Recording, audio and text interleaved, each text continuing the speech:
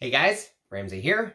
Welcome to another video. Today we've got a This is not a top 10 and there actually is a note that I overlooked and the only reason this video is happening is because one of you actually reached out and said, hey man, did you ever do a uh, This is not a top 10 Galbanum perfume episode? And I looked and sure enough, I didn't. I completely left out the note of Galbanum. So thank you very much. You know who you are. I do try to listen to my subscribers, and to be honest, I love making these videos.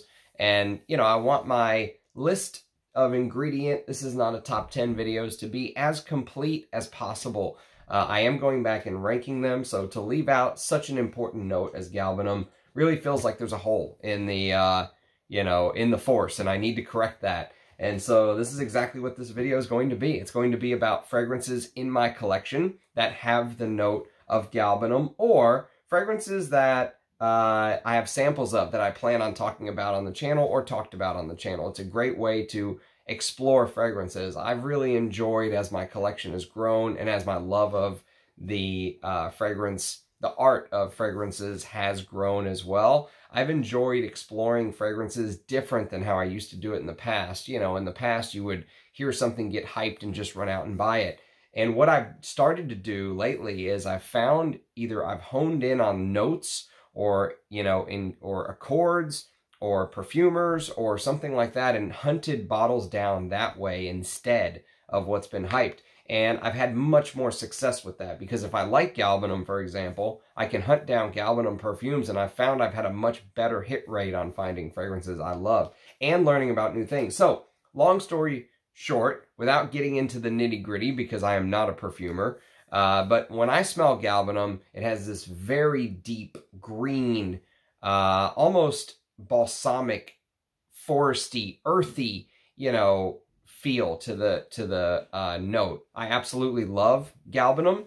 Uh, it is vital to a Chypre fragrance. Chypres um, have lots of galbanum in them historically or let's maybe not lots, but let's say it's a note that is very important to the creation of the Chypre fragrance. It gives it that woody balsamic element that's very important to Chypres.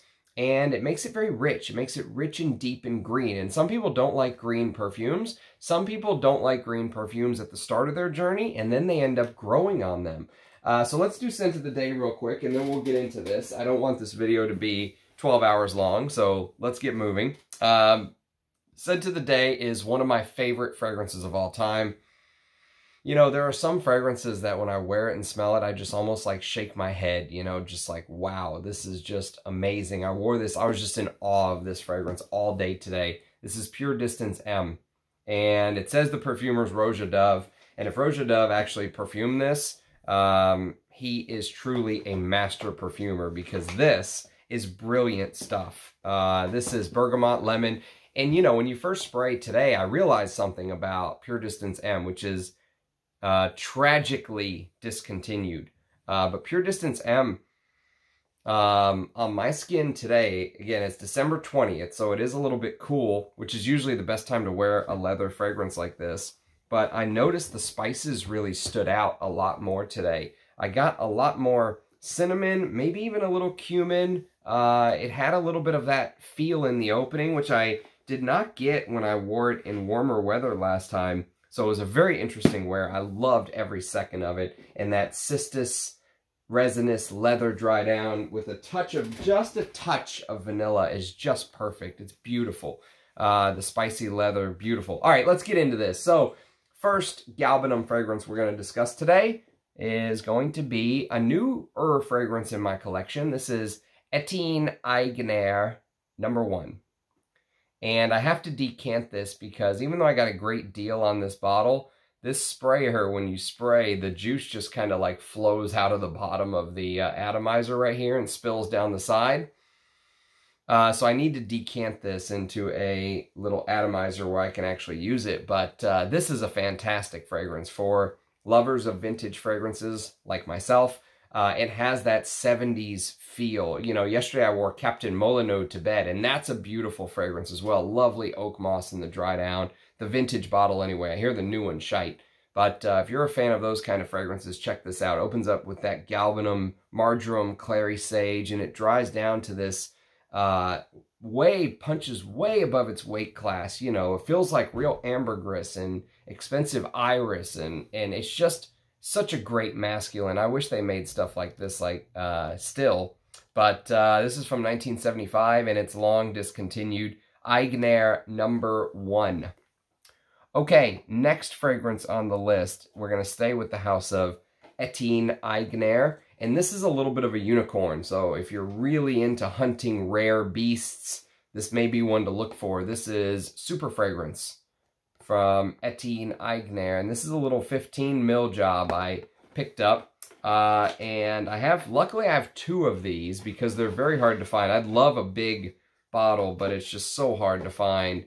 And um, I've got a little bit of juice left in this one, and then I'm going to, before this is all gone, you know, I will, um, I will hit the backup and, you know, use it and talk about it and do a full, full review on the channel. I just realized there is something in here.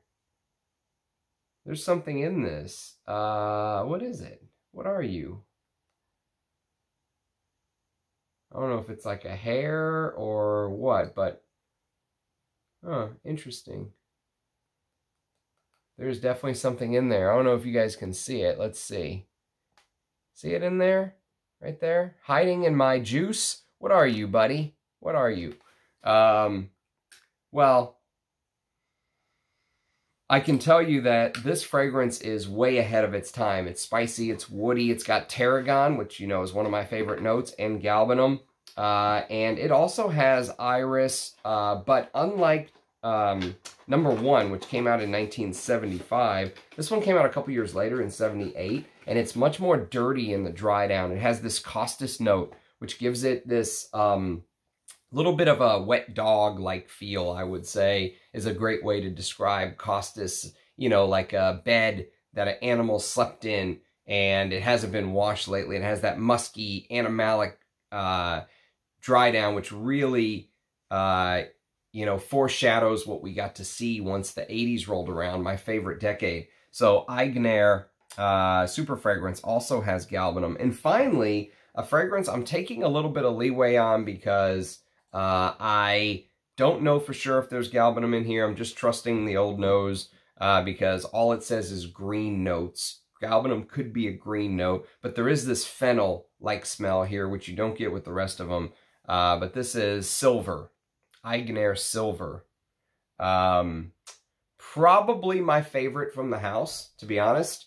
Uh, in my opinion, this is very close to Balenciaga's Portos. It has, uh, you know, similarities with Portos. Maybe not very similar, but they play in the same sandbox. And um, I would say this is maybe even a little bit more wearable version of Portos. Portos, that castoreum really hits you. And there is castoreum and labdanum and leather here, which I love. But there's this spruce note, uh, and when you mix that with the fennel and what I think is galbanum in the top and the old school carnation and patchouli, it makes it a little bit more wearable to me. Um, you know, Portos is big and bold and brash, and I love that. Uh, but if I wanted to wear one of these two to work, I would probably wear silver to work. It's a little bit more elegant, and it only came out two or three years after Portos, I think. Maybe four. But it, it, was a couple years after Portos came out, and it's also discontinued. All of those Aigner fragrances I started with are discontinued, unfortunately. Okay, let's talk about a fragrance that's not discontinued, and this is one of the greatest Bertrand Duchaufours of all time. Uh, and the galbanum in here will literally knock you off of your chair. If you're if you're a galbanum lover, this is some of the best galbanum I've ever smelled. It's uh, MDCI's Chypre Palatin. And Chypre Palatin is, I think it's a masterpiece, honestly. Um, how he managed to weigh and, you know, balance so perfectly, almost like laser precision, you know, this outdoor green garden. You smell this green galbanum and hyacinth in the opening with just a touch of clementine and it really feels like you're outdoors, like you're standing in a garden. And then all of a sudden, it's like you're brought back down to earth and you get the resins and it brings you back to feeling like you're smelling an old school oriental, but it's a chypre, you know, it's a chypre, but it's an oriental, but it's green and fresh in the opening, and there's herbs and thyme and lavender, but there's also the castoreum and the tolu balsam and the vanilla and a touch of plum, a touch of fruit. It's just, everything is so perfect. Every time I wear this, I'm in awe. Um, and if you focus on the galbanum in the beginning of the fragrance, you will notice just how important it is to the composition. Chypre Palatin, masterpiece. Now, I know that's expensive, so, and I don't talk about clone brands very much, but just to be brief, uh, I will talk about one right now um, that I think is very good. You know, I found this pretty much on my own, um, just because I was curious. You know, these clone brands always talk about, oh, we can make the same fragrance 99% for $40 instead of 280 or 350 or 500 or whatever it is. So I bought this. And you know what? This is a good fragrance. This is probably one of the better clones I've ever smelled. And it's from the House of Alexandria Fragrances and it's called Le Chypre. And so this is an extrait de parfum concentration. It smells like the ingredients are pretty damn high quality, to be honest with you. Obviously, uh, Chypre Palatin is the better composition by far. You can you can tell. Um, one thing that you'll notice with many clones is that the sweetness is amped up a little bit. Like the qual, like you know, um, the quality of the notes just isn't exactly spot on, but they are damn close. And if you're on a budget, you're a college kid or something, or you know, um, you just don't want to spend a lot on a perfume. You just want to spend, you want to get in the ballpark. You don't really care if it's perfectly Chypre Palatin. If you can just wear this and enjoy this fragrance, I think you would like it. Um, Le Chypre, I'd still love a full bottle of Chypre Palatin one day, but uh, Le Chypre is kind of a cool little thing to have. I'll, I'll throw that on before bed sometimes. Okay, a newer discovery of mine, and I had to buy like 30 mils in these little 2 mil vials, but I don't care. I'm glad to have the older version. Uh, this is, Amouage has two fragrances that highlight green notes in a stunning fashion. And neither of them are very popular Amouages, but for the niche heads, for the people who, um, you know, for the people who are really into fragrances the way we are, you know, as an art form, and they love fragrances and they think about fragrances all day and stuff like that. These are the ones that you might want to kind of go for off the beaten path. So this is called Amouage Opus 7. And they actually named it once Renaud Salmon came in. They never named opuses before, um, but some of them now have names. And uh, this one's called Reckless Leather. Uh, and this is galbanum, cardamom, nutmeg, fenugreek, Someone told me that fenugreek, I think, has a little bit of like a baby erp smell or something like that, like an upchuck, like a baby's uh, throw up. And you know what's funny is, is I was wearing this the other day. I wore this as my scent of the day the other day. And all I could think about is a baby throwing up on a galbanum plant uh, with cardamom and oud. And what's amazing is this very interesting note of costus root in the dry down. Uh, one of the best costus root notes I've ever smelled. Uh, and it says it's inspired by, oh, wait a minute, that's not it. Uh, it's a green, woody, and leather fragrance evoking ju the juxtaposition of harmony with intensity of recklessness. And you know what? That's a very interesting way to put it. And um, there's a big throw to this fragrance because there's ambroxan and there's muscone in the base, sandalwood, frankincense, of course, and cypriol. And I am a big fan. I'm glad I got these. I'm glad I can talk about them on the channel. Um, uh, I would be curious to see if there's a reformulation, but honestly, I'm just happy I got the older batches. I don't trust Amouage all of a sudden. You know, what kind of what they've done has put my antennas on notice. So another green fragrance that is a little more fresh, but it is still beast mode. This is I mean, one of the strongest fragrances I've ever smelled in my life. This is Beach Hut Man by Amouage. Now, um, I will say the same thing I've said before, that uh, rumor is that there are potentially reformulations. So if you come to me and say, hey, I got the one that says Beach Hut Man down here and it's not beast mode, what are you talking about? That's probably why. Try to hunt an older bottle that says it on the side and I think you'll be pleasantly surprised this is green and a little bit more fresh uh, because there's orange blossom and mint in the opening, but the galbanum is still front and center. This is more, instead of beach hut on a beach, This is Beach Hut in a uh, jungle. Think about that. Think about, look at the outline of the beach hut right here. See it? Uh, and imagine a beach hut in a jungle. Uh, and that's the vibe here. There's ivy growing on it. There's mosses. There's um, vetiver, which is very earthy. And there's a little bit of myrrh because it's amouage. Of course, you need some resins and woods and patchouli.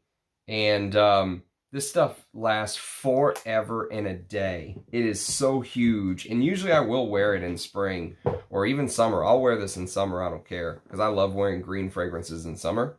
But um, yeah, most people may even smell that and say, that's got to be a winter fragrance because it is huge. Uh, and finally, there's a, fragrance that many people don't think has galbanum in it because they're so focused on the rose and the pine frankincense, and lime, and that's Lyric Man. But there actually is a very interesting galbanum note in the mid here, and it mixes with the ginger. Um, and again, this is one of the bottles that has it written right here. So again, I've heard there could potentially be reformulation. I don't know. I've never done a comparison myself.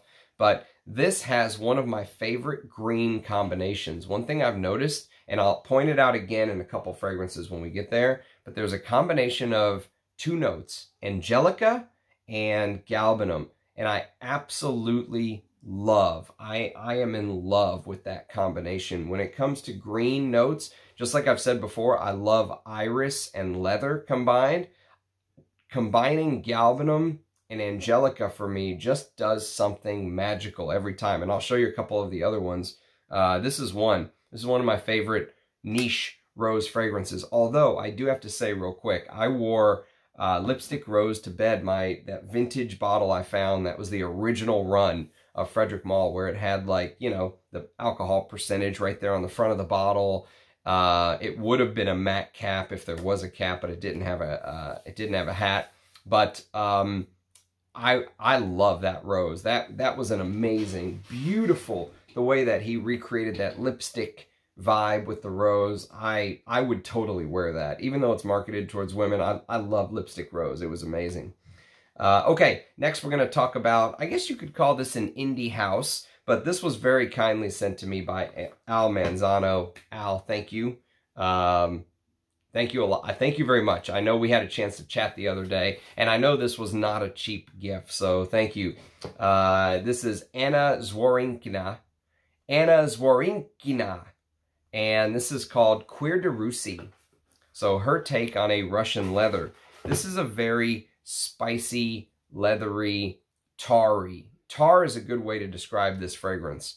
Uh, it really does have this tar-like, you know, um, deep, black, dark, resinous vibe with galbanum, mugwort, uh, yuzu, absinthe, tobacco, clove, ambrette, castoreum, ambergris. Uh, it really does feel like you're smelling an Areej Le Doré or Bortnikov or, or something of that quality. It's, it's very, very good. And, you know, this has made me want to try more from the house. Okay, next on the list is an Aramis fragrance, and this is called Devin. So I talked about this fragrance the other day, and uh, this is one of my favorite Galbanum fragrances of all time, period.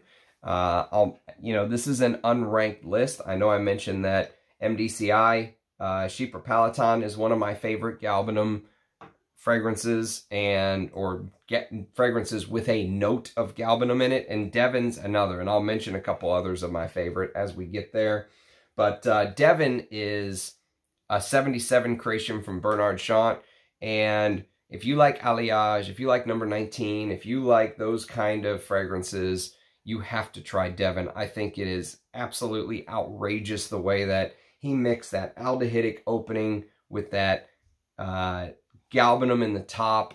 And the way Bernard Chant does aldehydes is out of this world. It's completely uh, different from anything I've ever smelled. I, I don't know how he's kind of uh, created that aldehydic top that's been so different from anything I've ever smelled.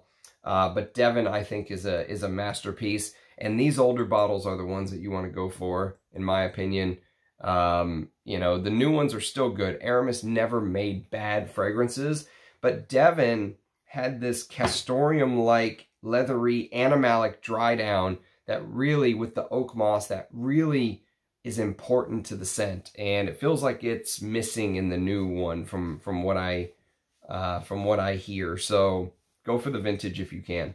Okay, next is a Chypre fragrance, but it smells kind of like a fougere. This is a little bit of a, you know, cross-boundary fragrance. It's spicy, it's green. Uh, this is a vintage bottle with a short ingredient list. I'll show you right here on the back. There, you can see the short ingredient list. Some people will say, oh, you only have to go for the one that says uh, S-I-R-P-E-A. Don't go for the Waruska and Joel version. BS. If you can get one that has a short ingredient list, all they did was move manufacturing in-house. They kind of took it in-house.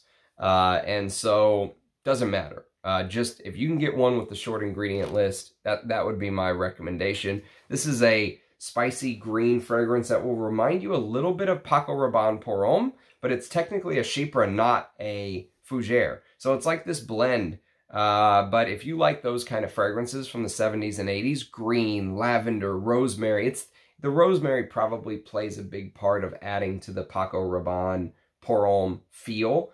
Um, but it goes in a little different direction. There's galbanum and clove and blackcurrant here. And of course the oak moss and, and leather and stuff like that in the dry down. Beautiful perfume.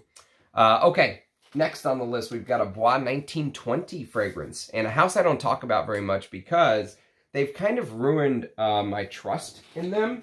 They, uh, uh, I think for, if you go watch, go, go to Rich Mitch's channel and just type in Bois 1920 and you'll find the video he did on them. Uh, they had something a little bit shady go on and it kind of turned me off from the house.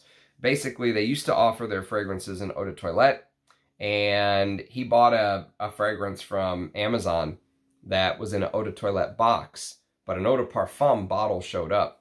And when he complained, they said, oh, sorry, third-party seller. And sorry, we can't do anything about it. Which, you know, I I would bet my house uh, that they Amazon is not in there switching eau de toilette and eau de parfum bottles. Most likely that was probably from the company, but who knows? Uh, but they just said, sorry, we can't help you. Uh, it wasn't our fault.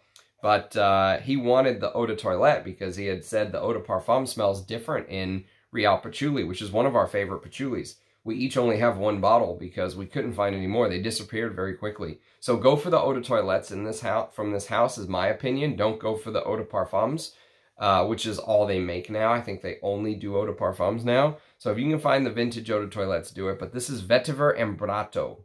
And this is a beautiful vetiver amber, as the name says, but there's this green galbanum and tobacco combo in the dry down, and there's also green artemisia in the top.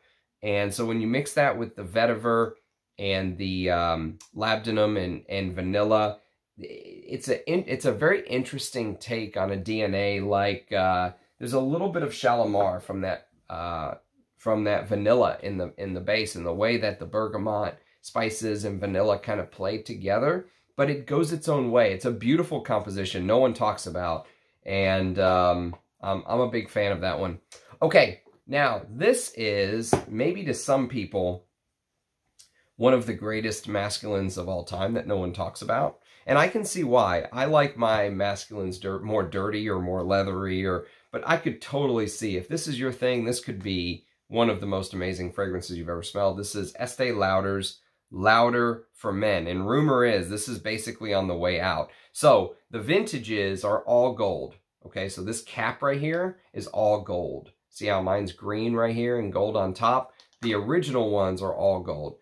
To me, I think they're both amazing. I don't think you have to go get a vintage. Would I love a vintage? Sure. Is it stronger? Yes. Is the oak moss more? Yes, I think so.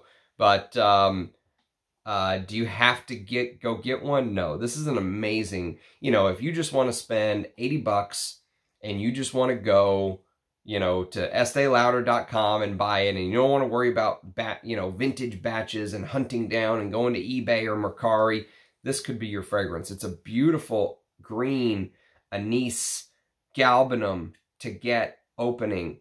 It's very herbal And there's an old school carnation note in the heart that is just to die for with this mossy, um, ambery, sandalwood, cedarwood, patchouli dry down. It's beautiful. Very sparkling, uh, very green, very 80s in, in a way. Very 80s. It has a little bit of funk, but nothing like its its counterparts in the 80s. Nothing like Kouros or Antaeus or stuff like that. Uh, okay, speaking of animalic and dirty, though, uh, this is a fragrance with galbanum in the top that uh, if you're a fan of, of old school vintage fragrances, this should be in your collection. This is Yatagan. And I've got two bottles of this. I have an older bottle than this actually as well. And um, spicy, woody. It opens up with tarragon, galbanum, and, and lavender. And you get lots of pine. Lots of pine and leather. Uh, this would compete with Rochas Macassar for the green leather combo beast, you know. Uh, and so I'm a big fan of Yatagan. I have a backup bottle. Uh, beautiful green leathery fragrance. Spicy, woody too, with castoreum. Okay, probably one of my favorite uh, Galbanum fragrances of all time. Right up there with Devin and Chypre Palatin is number 19. So number 19, this is the Eau de Toilette. This is a vintage Eau de Toilette bottle. Rumor is the really old Eau de Toilettes from back in the day um, were the really, really old ones used Iranian galbanum, very rare Iranian galbanum. And this fragrance came out in 1971. And so whenever the Iran-Iraq war was going on, apparently the uh, Iranian gal galbanum could no longer be sourced because of the war. So Chanel had to find a different supplier. And some people say they never were able to replicate the quality of the Iranian galbanum that was originally in the bottles from the 1970s. I have no clue how old this splash bottle is. All I know is um, I got it from Anuj, I think, at Enchante. And, you know, it's got a short ingredient list, so my guess is 90s, early 2000s. I, I don't know. Um, all I know is this is a stunning and I like the Eau de Toilette. The reason I, I actually own a backup of um, this fragrance because I love it so much, especially in the spring. It's just a, a, a stunner. It's a jaw drop stunner. Um, you know, it's leathery, dry down. The floral heart is outrageous with that Chanel posh iris uh, and hyacinth and the roll. I mean, the flowers, the freshness, the, you know, the green floral take is uh, one of the best. I mean, easily you could say, when I rank this video, that will be very close to the top. And then there's a fragrance that I took a little bit of leeway on because it doesn't actually say galbanum. It says green notes again. But I'm going to say there's a little bit of that Chanel posh, sparkly, uh, number 19 green galbanum opening here. And this is 31 Rue Cambon. This is the Eau de Parfum. The Eau de Toilette would probably be just as well, but I have the Eau de Parfum. I love it, uh, so I can't complain at all. It's so good. It's so posh. I mean, these two are two of the most posh. I mean, you wear this as a man or a woman. Um, but I think as a man, it's a little different because most men are wearing Y Eau de Parfum or something like that. You know, you walk out wearing this you really show everybody how much class you have. This is a classy fragrance. This takes uh, experience and knowledge and understanding. And, um, you know, this, I think, really shows that you put in that extra effort to me. It's, it's so posh. I love this. I love this fragrance. I'm a huge fan of this. Can't believe I took so long to get it. I'm so happy to have this in my collection. Thank you, Bry. Okay, Next on the list, we have a Clive Christian fragrance. And believe it or not, there is a Clive Christian, a green Clive Christian fragrance.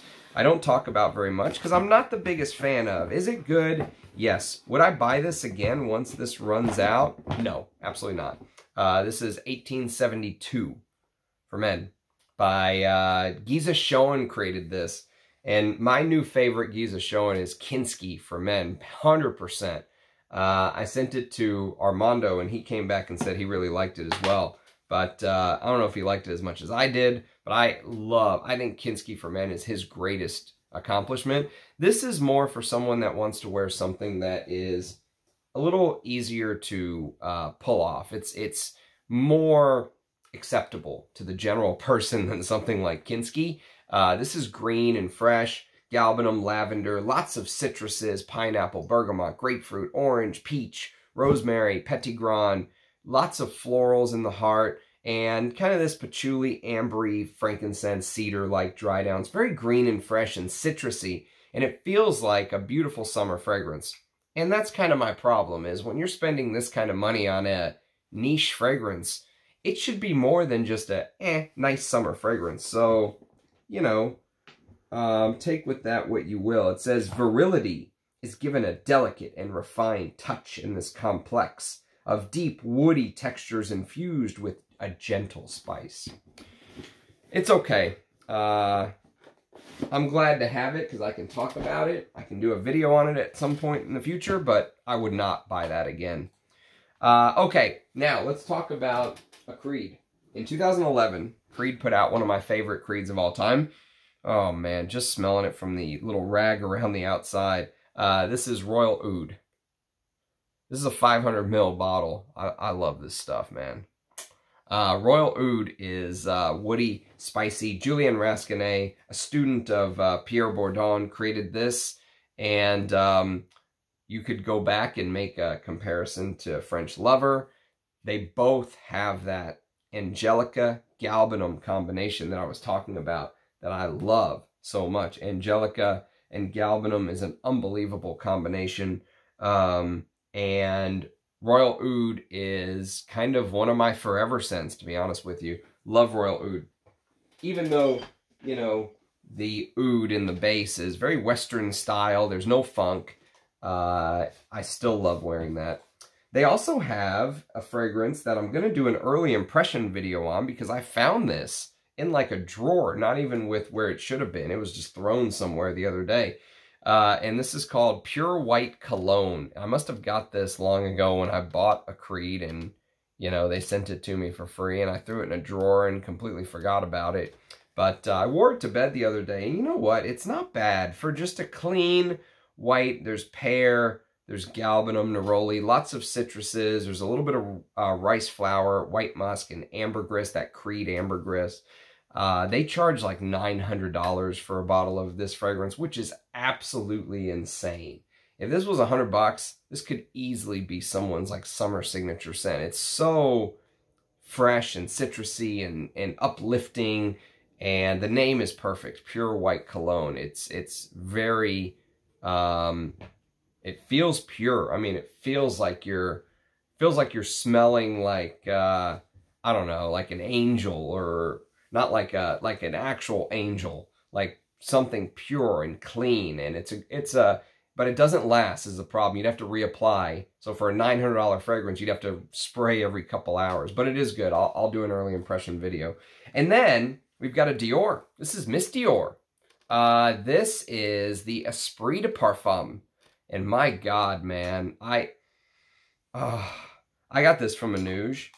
There is something so captivating about this. Uh, now, this is an older Christian Dior bottle before they changed the name to Dior. Try to get older versions if you can. Uh, this is Galbanum, Bergamot, Sage, Gardenia, with Carnation, Jasmine, Narcissus, Neroli, Rose, Oak Moss, Labdanum, Patchouli, and Sandalwood. And there's something about the, the uh, Galbanum Sage combination in the opening uh, with the florals and then somehow, you know, Edmond Roudnitska, the master, built this accord that comes across as smelling a bit, there's, it feels like there's a tobacco note in here, tobacco vibe to me. But it's so amazing, so deep. Such a beautiful Chypre, perfect Chypre. And again, I mentioned how important galbanum was to Chypres. Uh, speaking of Dior, in 1969, uh, Guy Robert put out this. Dioressence. And I'm guessing here again, because it says green notes. I'm guessing there's galbanum in, in Dioressence. Not 100% sure. But it's aldehydic, uh, citrusy in the opening. Beautiful floral heart with violets, rose, carnation, ylang ylang, cinnamon, and orris. So it's a little bit powdery, but it dries down to this oriental, benzoin, oak moss, musk, patchouli, styrax, vanilla, vetiver. Uh, lovely, absolute, again, amazing floral chypre. These are these are two of the best chypre fragrances that very few people talk about. And then I want to talk about some Guerlains. Uh, let's talk about, actually, before we do Guerlain, uh, let us talk about a couple samples. Let's do a Dusita sample. So this is called Le Sillage Blanc. And this is a green chypre that uh, I think she mentioned it was it was uh, inspired by a very old fragrance. I forget which one. Was it Bandit or was it... Which fragrance inspired her? I forget. Um, but it says the opening, a rich and opening, a rich bittersweet orange blossom and neroli combo, a calming quintessential living in the moment fragrance, gently warmed by a sweet, almost mystical essence of ylang ylang. So the galbanum, the artemisia, the tobacco, orange blossom, ambrette, patchouli, uh, and I'll do an early impression video on Le Sillage Blanc before that juice is gone. And then we've got a couple Frederic Malles. So we have the aforementioned French Lover, which Pierre Bourdon's name is on the bottle, with that Angelica Galbanum combination, which is out of this world. Uh, there's a beautiful iris note in here, which is missing from Royal Oud. Uh, but somehow this feels more, even though it has that posh iris, it feels a little bit more dirty, uh, as in like forced floor dirty. I think it's the vetiver and frankincense. I'm not sure. But uh, whatever it is, I, I would love a vintage bottle of French Lover, you know, pre-Estee Lauder. Uh, and then there's a fragrance that came out a year or so ago in 2021 called Synthetic Jungle.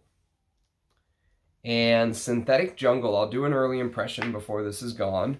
Uh, one of the most beautiful basil openings Basil, Lily of the Valley, Jasmine, Galbanum, and Patchouli. Beautiful green. This is a great take. You know how I mentioned Beach Hut Man is green, green, green, jungle green? This is also jungle green. Um, I think I prefer Beach Hut Man, but Synthetic Jungle is very good. And then, uh, let's talk about a Geoffrey Beene. And this is Grey Flannel. So I showed you my really old bottle of gray flannel the other day where it had all of the writing inside.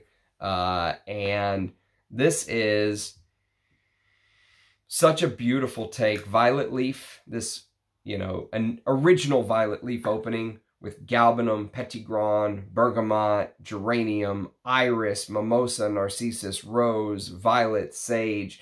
Uh, I think when young people smell this, they don't know what to think is what it is. I think they're just so, it's such a smell that's so different from everything they're so used to smelling.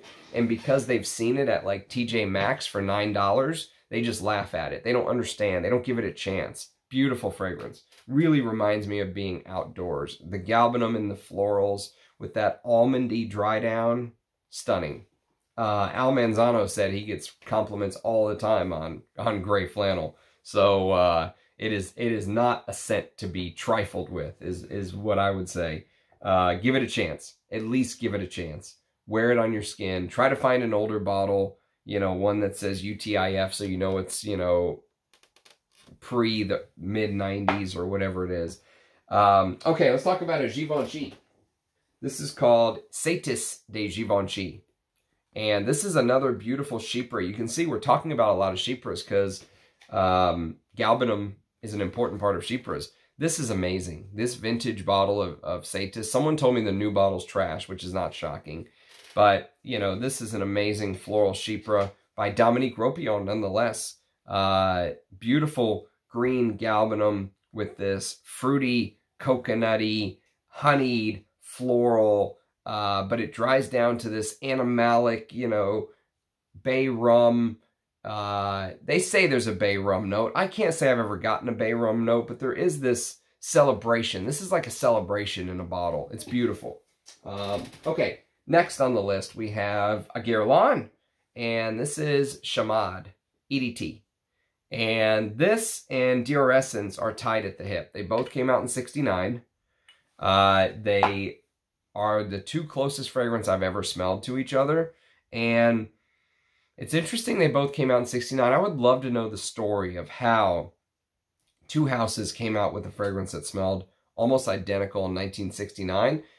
And then, not identical, but they're so close, there's no doubt about it that these two are kissing siblings, let's say. They're kissing cousins, okay? They're, they're right there.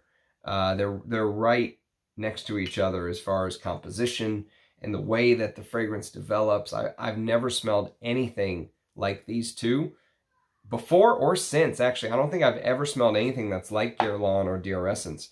Um, and that's what makes it so interesting is it was like that point in time they released it and then no one's ever touched that DNA, at least that I know of. Floral, green, galbanum, you know, this has that lilac note that you'll get a little bit in Mitsuko. Uh, and the resins and the dry down has a little more of that Guerlainade compared to Dioressence, but they're both so, it's just unbelievable. I, I'm, I'm learning to love Chamade. Uh, and then there's also a fragrance that came out in 1933 called Vol de Nuit. This is a beautiful, beautiful take on galbanum um, and iris and aldehydes and spices and that Guerlainade dry down. It's spicy. It's a little bit woody. If you're a guy, give Vol de Nuit a, tr a try. It's a, it's a masterpiece.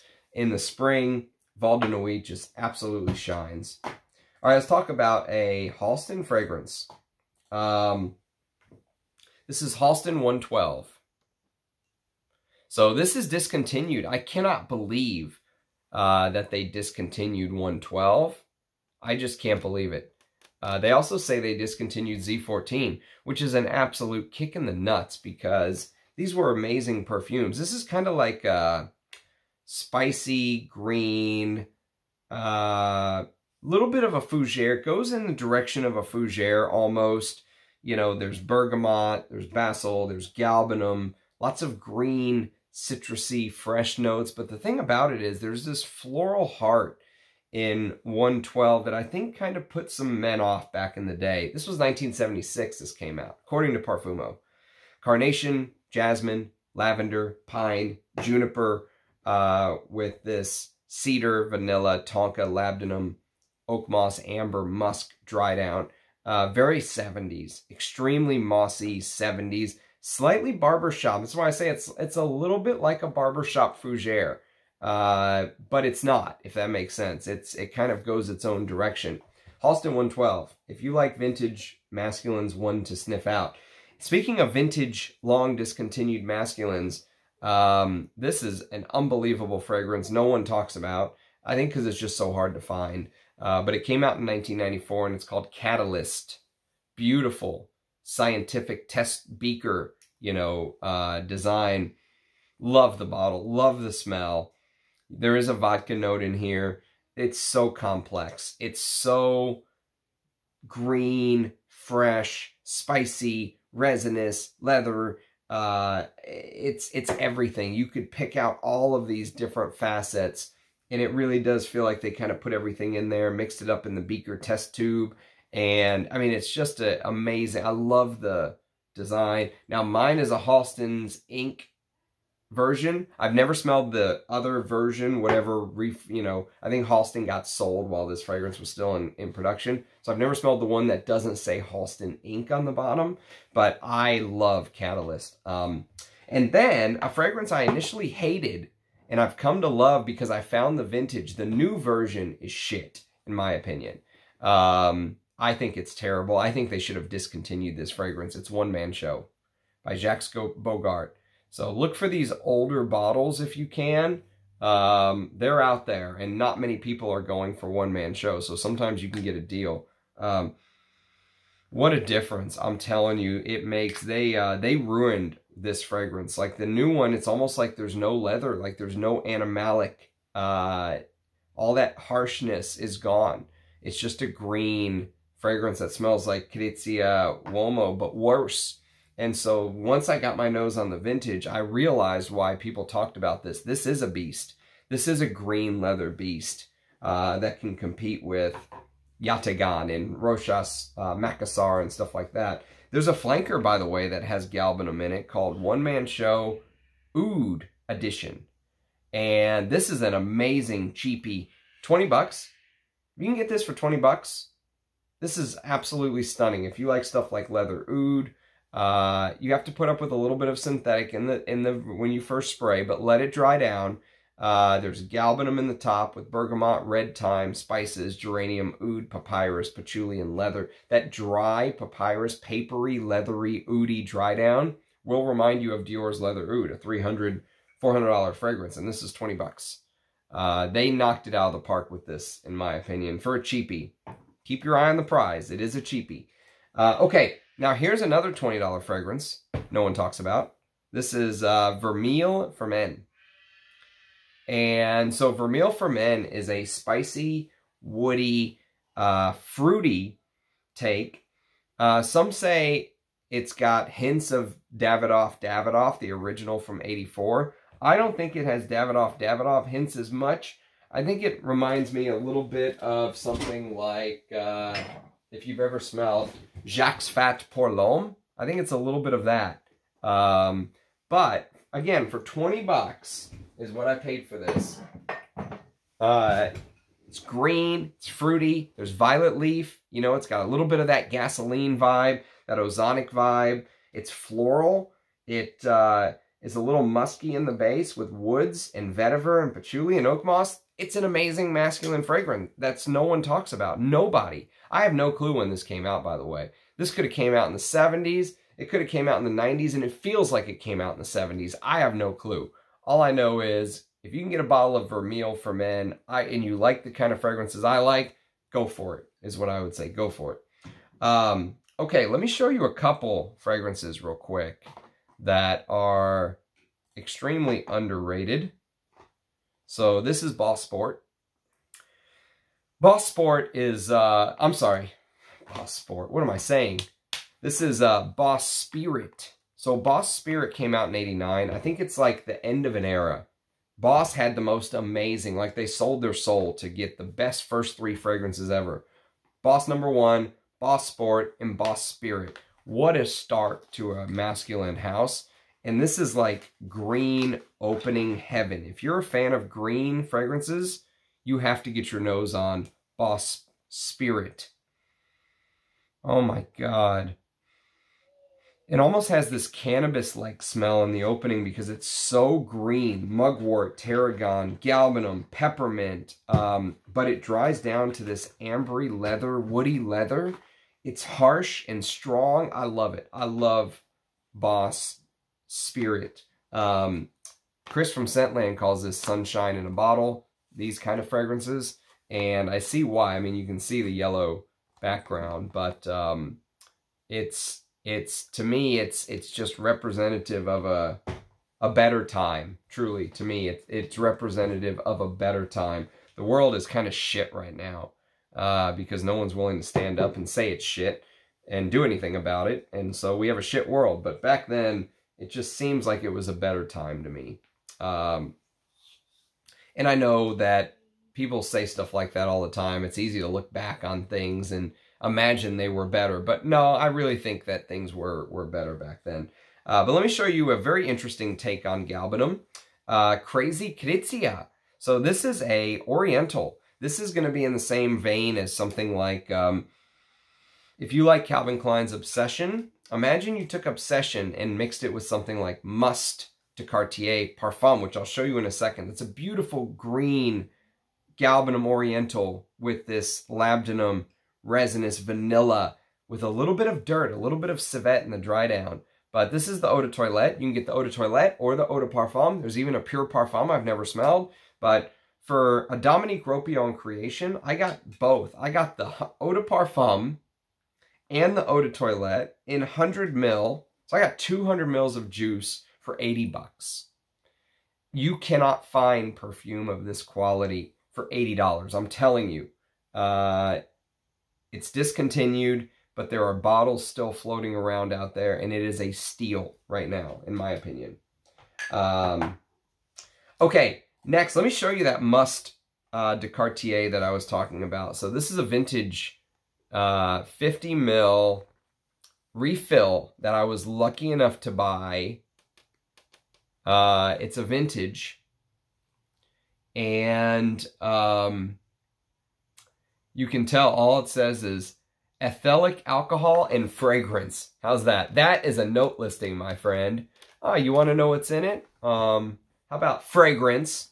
Uh, this is uh, galbanum, mandarin orange, neroli, jasmine, narcissus, rose, musk, vanilla, and vetiver. Unfortunately, that's all I have left.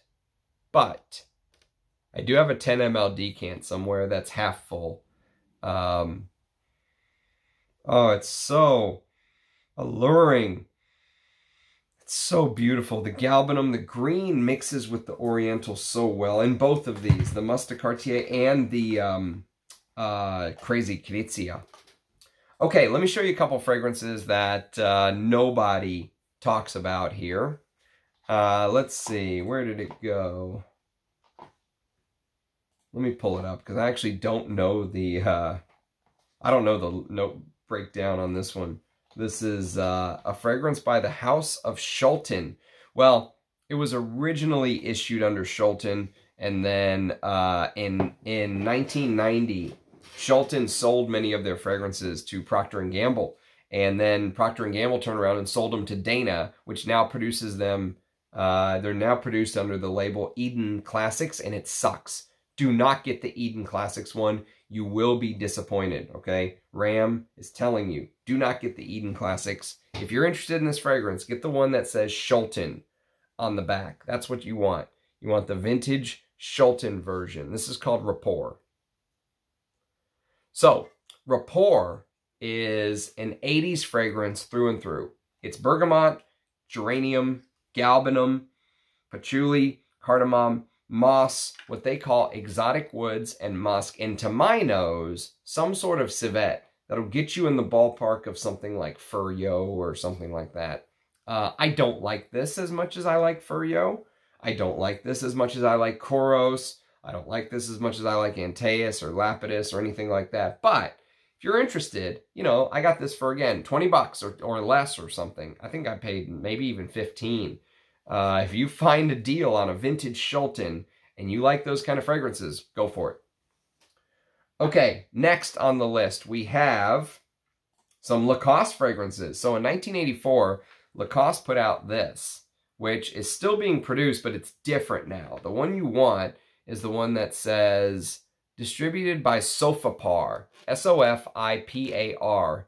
For the longest time, I saw like a 20 or 30 mil bottle on there for like 20 bucks. Uh, this is a 50 mil I got from Anuj. And this is green and fresh and almost country club smelling. Like if you went to an 80s country club with those, uh, uh, what's his name? Um, oh shit, who's that tennis player? Becker? You know, who, who used to wear those 80s tennis shorts?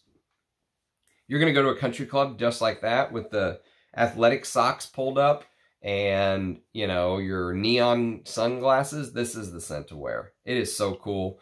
Uh, galbanum, lavender, and geranium, basil, amber. Loads of vintage oak moss in, in the in the vintage. A uh, little bit vetiver dry down with, with woods. So classic to me. Such a classic smell. Uh, that was 84. So make sure you get the one that is the version from 84 because the new one's shite. But uh, there's another one from 1991 called Lacoste Land. Look at what they used to do back in the day. Look at this presentation. How cool is this? This leather pouch is better than um, this leather pouch they used to give you for free is better made than 99% of the leather pouches you pay for nowadays. And how about this? Look at this. Is this not just a beauty? Again, Sofipar. Uh, so Lacoste Land to me is like this insane mixture of Quorum meets uh, Eau de Hermes. But imagine you made all that for a walk in the walk in the park or to climb a mountain or to go outside and do something sporty. It has that athletic like vibe to it from 1991. It's before the aquatic wave came and washed everything away. There's galbanum and lavender in the top, and it makes it very alluring. It's very spicy, though. It's a very spicy fragrance. Lots of sage, lovage, uh, vetiver, oak moss absolute, a little bit of benzoin. Very green and spicy, but beautiful. Love it. Um, and I'm so glad to have that bottle. Okay, next is a Lagerfeld, and this is Photo. Uh, unfortunately, this is a Unilever bottle, but I don't care. I'm just happy to have a bottle. I'd love to have one of the older, you know, original, whatever they called it, Parfums Lagerfeld. But um, beautiful aldehydes in the opening. One of the most beautiful aldehydic openings in men's fragrances, period, with galbanum and honey and some woods in the dry down. It's woody, it's fresh, it's beautiful. I love this. This could easily be a niche fragrance today. Lagerfeld Photo um, from 1990. And then we've got a Loewe fragrance, and this is called Esencia. Now, Esencia is now in a bottle that doesn't look like this anymore. Now they sell it in a bottle that looks like... Oh, let's see. What does it look like? Esencia. Oh, yes, it looks like this. Looks like this. This is an amazing fragrance too, but we'll talk about that some other day. Oh, I love it. Um, but Esencia is galbanum, uh, juniper, tarragon, lavender, basil, pine. Okay, if you're a pine fan, if you like polo green, uh, oak moss, leather, fir, tonka, vetiver. I would urge you to try Esencia. This is uh, an amazing green fragrance. Make sure you get the eau de toilette. Make sure you get the eau de toilette. Don't get the eau de parfum. Okay, next on the list. Next on the list, we have a um, little sample I want to show you guys from the house of Maher Olfactive. So I've shown them before. I haven't talked about them on the channel yet, but hopefully I will soon now that my nose is back in commission. Uh, you'll start getting some early impressions again very soon. This is Tempo Rubato. Tempo Rubato is a leathery floral fragrance with green galbanum, benzoin, orris butter, plum, apricot, petitgrain, um, Rosa Alba Otto, Orange Blossom Absolute. Uh, very interesting. Uh, it's an interesting house. No one talks about Maher Olfactive, but I will someday very soon. I hopefully will. And then, let me show you one of my favorite spicy oriental fragrances no one talks about. This is Habanita. I love this stuff. I wish I had more than uh, 20, what is this, 25 mil or 30 mils or whatever it is, I wish I had more. This is the version from 1988. It originally came out in the 20s, I think. But this is galbanum, mastic, and, you know, mastic can have this chewy gum-like quality. And this fragrance feels like there's lots of gum resins in it, if that makes sense. Uh, and galbanum is also, I think, a gum, a resin from a tree. And so you have galbanum, but the mastic and the heliotrope combined, because heliotrope also has that you know, spongy, um, play-doughy quality, right? With rose centifolia, vetiver, ylang, jasmine, amber, oak moss, vanilla, sandalwood, musk, and patchouli.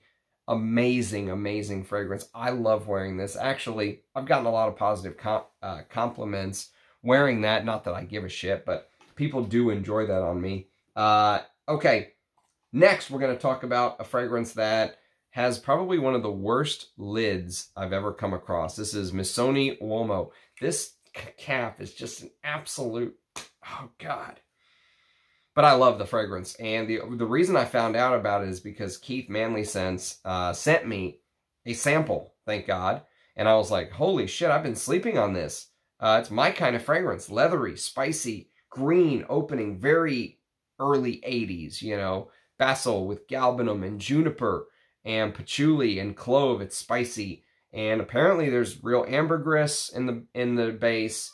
Uh, there's frankincense, tonka, leather, musk. You know, if you like the 80s leathers like I love, give this one a try. No one talks about it. It's worth giving a try. I think Anuj at Enchante still has some. Uh, and then a fragrance that everyone knows if you're a lover of 80s fragrances. This is Oscar de la Renta Pour Lui. Uh, love this scent. Spicy, woody. It's got that anise and aldehydic fresh opening. It's kind of like uh, hinting at fresher times.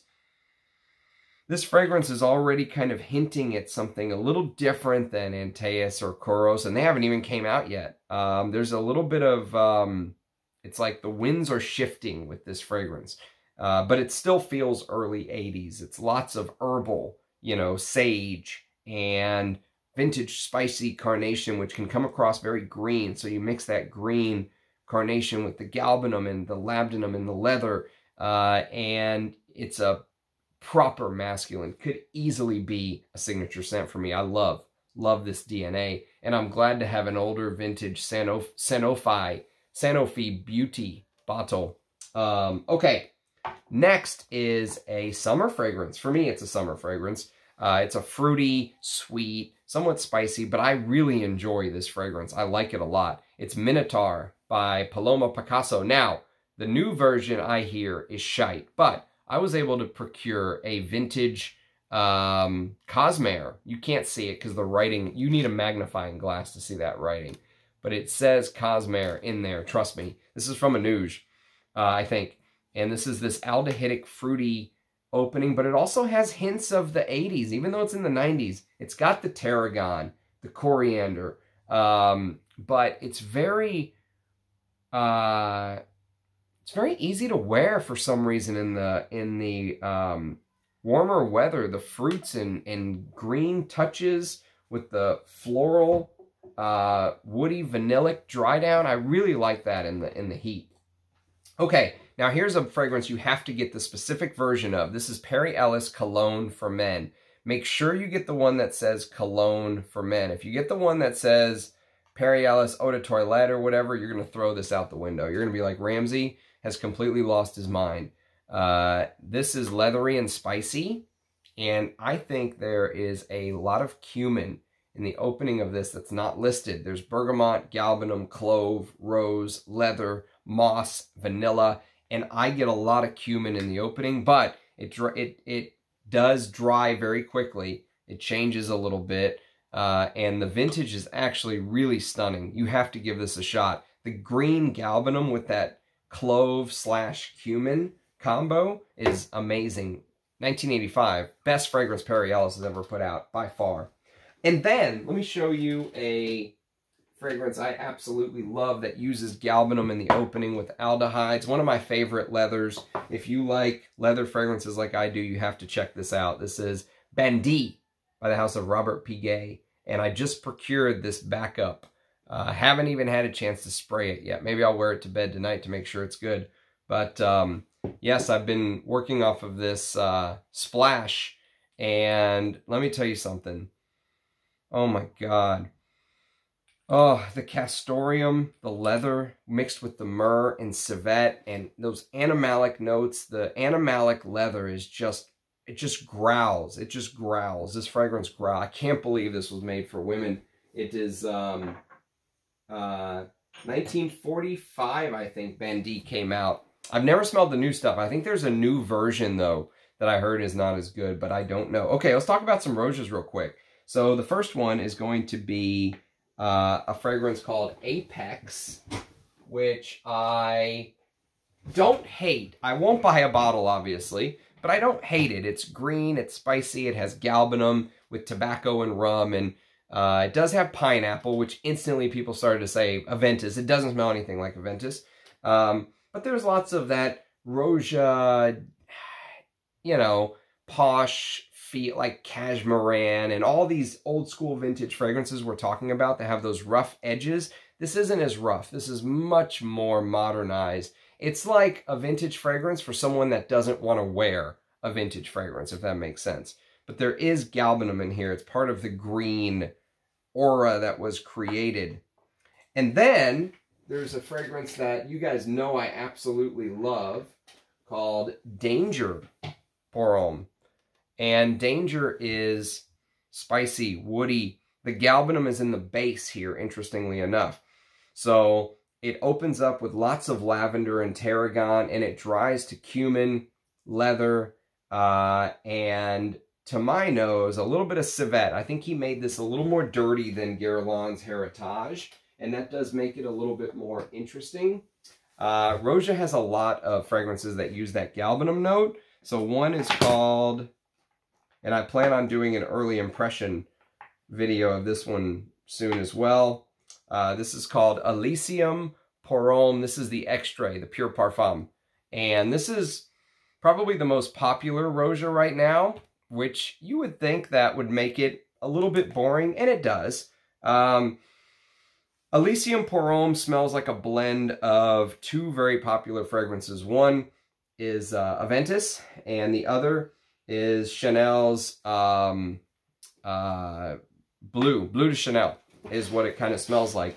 But uh, the one that has the uh, frankincense, not the one that doesn't have the incense, the one that does have the incense. So Elysium kind of smells like a blend of those two. It's nice. The galbanum, again, is in the base. He uses it as a base note, but, uh, you know, and, and what's interesting is, I'm going to show you a couple of them here, and look at the trend. This is Harrods Homme, and this is Bergamot. It's got that, let's say, a cubeba note that tends to drag citrus. It really feels like you're smelling citruses way into the dry down. Uh, the galbanum, again, is in the base. Uh, are you getting kind of a trend here? La Oscar Pour Homme. I have a full review or a full video on this one. And I like this. There's lots of labdanum in here, which I really like, with celery seeds and mayflower and carnation. Very interesting. I liked it a lot. Spicy Chypre, basically. The galbanum is in the base. So you see, he's got this blueprint almost, and he follows it over and over and over. Let me show you another one. You wouldn't expect it, but look at this. This is a little discovery deal, um, and I plan on doing a video on this when the weather turns. This is Oce Oceania, which I think was a Selfridges exclusive. Uh, and you would expect it to be marine-like, and it is. It's got this petrichor marine, Erolfa-like vibe, um, lavender and florals and stuff like that. Uh, the galbanum is in the base, okay? And and so again, it's just, uh, he's got this DNA that I guess he thinks really works. Let me show you a couple others. Uh, so one is Oligarch, and I really like this fragrance. It's a shame it's discontinued. Um, Oligarch is, I don't know if you can see this, but look at that. Can you see what's floating? Like, let's see. Nope, it's not going to catch it.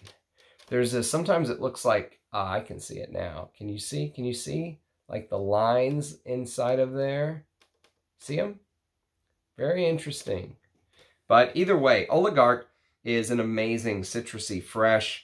Imagine the most posh version of uh, Terre de Hermes you've ever smelled. You know, lots of fruits, and but again, the galbanum is in the base, okay? Uh, beautiful fruity chypre, though. Very complex, very beautiful. Great for warm weather, in my opinion. Uh, and then he also did this fragrance, which is called Vetiver. And this is another one that I'll, I would wear in the warmer weather. Uh, and it's another one that has that, let's say, a cubeba note.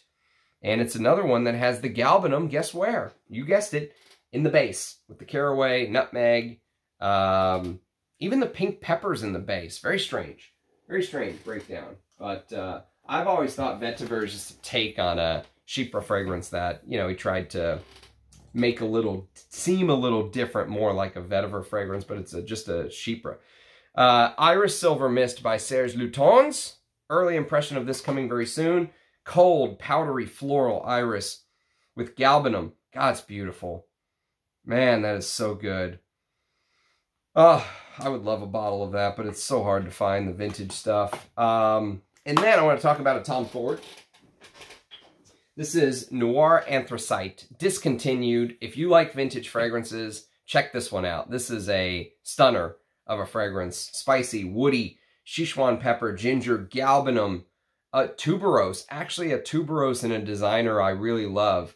Patchouli, jasmine sambac, cedarwood, macassar wood, and Ceylonese sandalwood. That galbanum tuberose combination is insane. The patchouli is the most prominent note. Okay, so don't freak out uh, at the tuberose.